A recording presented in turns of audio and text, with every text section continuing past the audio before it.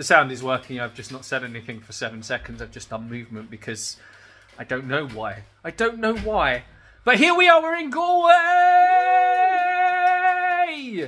Woo indeed. Woo it. Woo it more, Michael. I want more woo.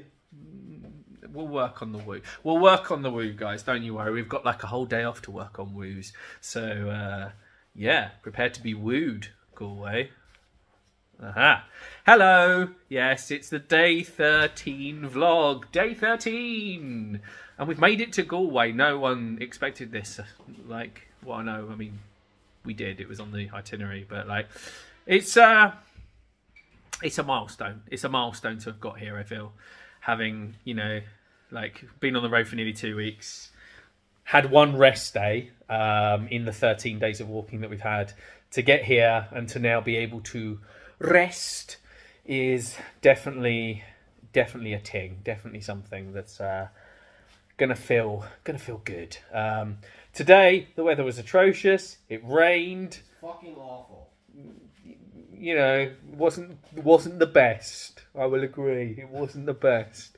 Um, yeah the weather was shit coming in. But hey like knowing that we had this and we were going to end in galway and we're going to have a day off and stuff I wouldn't say you allow it because it was still very annoying, but you tolerated it, which is all you can do.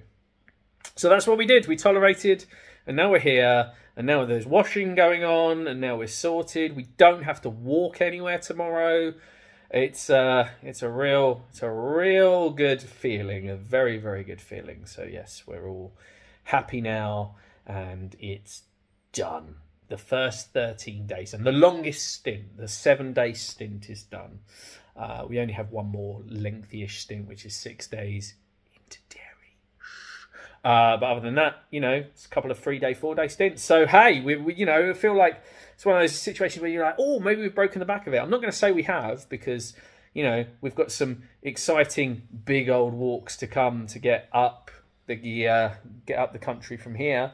But getting to Galway feels like a bit of a milestone. So uh, yeah, feeling pretty feeling pretty good. Feeling pretty pleased. Feeling pretty yeah. Just just just oneness, some oneness with Ireland. Finally feeling one with Ireland. You know, and that's that's definitely worth something, right? Um, anything I've missed? Huh? Anything I've missed? Uh, no, I was. I, I, I, I missed. I kind of missed it. I was doing the phone. But we're in Galway. You said that. I might have mentioned it. Yeah, and we are on a rest day. It rained, it rained, but we're good. We're good. We're gravy. We're all good. Did I? Is that? I think that's fine. I think, this is good. Cool. There we are then. There we are. There we are. A well earned rest day, which I feel we all need. Some batteries need to be recharged. Um, so no vlog tomorrow.